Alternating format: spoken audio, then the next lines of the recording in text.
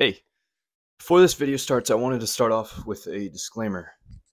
There aren't many pictures of me shirtless because, well, I didn't like how I looked back then. So, the video is short, and in this amount of time, it is just me learning the basics of lifting and basically fighting my footing. I'm really proud of my progress, and I cannot wait to see me in a year. I hope you guys find inspiration and motivation from this video. Uh, yeah. Enjoy. Get on with it.